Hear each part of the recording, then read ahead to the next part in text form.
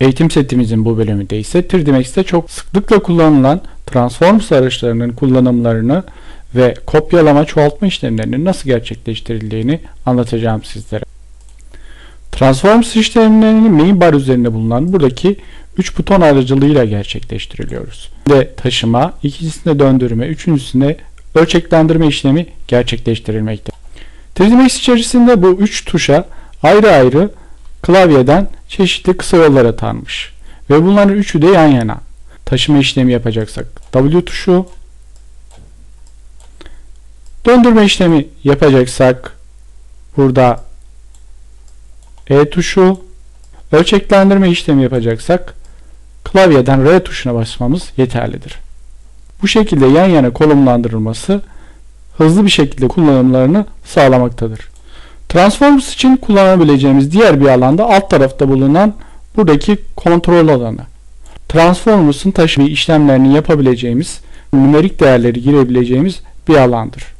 Bunu da ileriki aşamalarda nasıl kullanabileceğimi anlatacağım. Üzerinde Transformers sistemi uygulayacağınız herhangi bir nesneyi seçtiğinizde eğer Transformers aracı aktifse üzerinde gizmo simgesi çıkacaktır. Bu gizmolar her birisinin farklı özelliktedir. Taşıma gizmosu bu şekilde yani tripod simgesine benzerken döndürme gizmosu ise bu şekilde küre şeklindedir. Yine ölçeklendirme gizmosu ise buradan bu esnada diğer tuşlar aracıyla geçiş yapıyorum.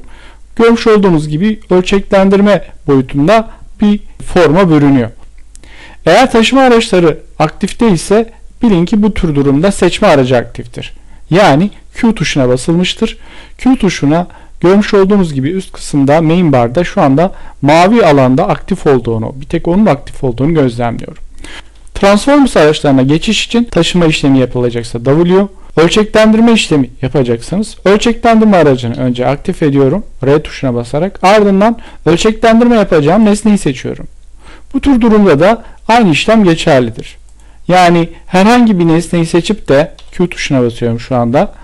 Bir nesneyi seçtikten sonra da üzerine transforms işlemleri uygulanabilir. W tuşuna bastım. Taşıma işlemi uygulayacağım. Ya da komutu aktif ettikten sonra da nesneyi seçip de bunun üzerinde işlem uygulanabilir. Alt W yaparak hatırlarsanız ekranı pencereleri büyütebiliyorduk. Buradaki nesneyi seçelim. Box nesnesini. W tuşuna basıyorum taşıma aracını aktif ediyorum. Taşıma aracını aktif ettiğimizde önceki derslerde hatırlayabileceğiniz gibi gizmolar nesnelerin alt orta noktalarında yer alıyordu. Taşıma işlemi yapacaksak bu tür durumda mouse'la istediğimiz herhangi bir eksene veyahut da düzleme gelip seçmemiz yeterlidir. Diyelim ki bu nesneyi x yönünde sadece taşıyacağım. X yönünün düzlemi değil de sadece diyelim ki x aksında doğrultusunda taşıyacağım. Bu tür durumda taşıma simgesinin çıktığını görüyorum. Buradaki kırmızı yani x'i simgeleyen doğrultun üzerine tıklayarak mouse'un soluyla basılı tutmam gerekiyor. Ardından nesneyi hareket ettirdiğimi ve istediğim gibi x yönünde eksi veya da artı yönde hareket ettirebildiğimi göreceksiniz. Bu esnada alt kısımda bulunan Transforms in penceresindeki değerleri gözlemleyebilirsiniz yani taşıma işleminin nasıl gerçekleştiğine dair bilgi vermektedir. Taşıma işlemini diğer akslarda da gerçekleştirebiliriz. Mesela y aksında bu şekilde seçip taşıma işlemi gerçekleştirebiliyorum. Diyelim ki sadece z aksında seçeceğiz bu işlemi. Z aksında bu tür durumda aksın üzerine gelip bir miktar bekledikten sonra sarı rengine döndüğünü ardından mouse'un sol tuşuna basılı tutmak suretiyle düşey doğru taşıyabildiğimi gözlemleyeceksiniz. Bu taşıma işlemi sadece akslarda olmayabilir. Düzlemlerde de taşıma işlemi yapabilirsiniz. Diyelim ki x-y düzleminde bir taşıma işlemi yapacaksınız. Bu tür durumda yine 3D Max size çeşitli seçenekler sunuyor. Görmüş olduğunuz gibi burada x-y düzleminin çakışık olduğu alanda bu seçme işlemini yapabiliyoruz. Yani x-y düzlemini sarı bir şekilde ardından sadece x-y düzleminde yani düşeyde değil sadece x-y düzleminde bu taşıma işlemini gerçekleştirebiliyoruz. 3D Max'te bu eksenleri seçme ile ilgili ara çubuk da mevcut. Minbar üzerinde boş bir alanda sağ tıklayıp buradan Axis Construction araç açarsak buradan da seçme işlemi yapabileceğimi göreceksiniz. Mesela sadece Z aksında ben seçmeyi buradan seçip taşıma işlemi gerçekleştirebilirim. Yani mouse'la seçmek yerine bu şekilde bir yolda izleyebilirsiniz. Bu aracı şimdilik kapatıyorum. ihtiyacım yok. Taşıma işlemlerini bu şekilde herhangi bir değer olmaksızın farazi bir şekilde taşıyabileceğiniz gibi nümerik değerler girerek de taşıma işlemleri gerçekleştirebilirsiniz.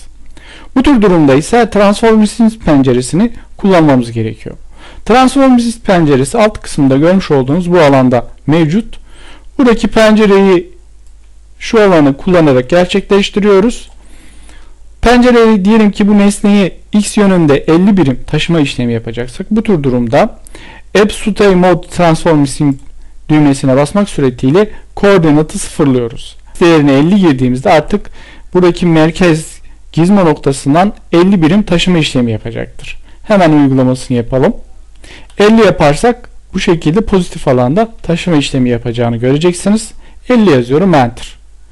Eğer tersini yapsaydık, eksi diyelim ki 100 yapsaydık, bu sefer geriye doğru taşıdığını görecektiniz. Diyelim ki düşey noktada taşıma işlemi yapacaksak bu tür durumda 20 enter.